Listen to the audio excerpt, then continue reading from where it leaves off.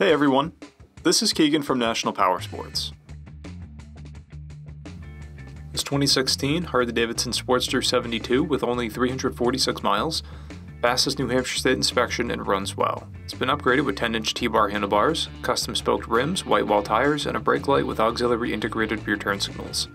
This low mileage 72 is in great condition, and since they are no longer in production, these Sportsters are becoming harder to find. Emulating 1970 style, the Sportster 72 offers riders the best of old and new in a retro compact design.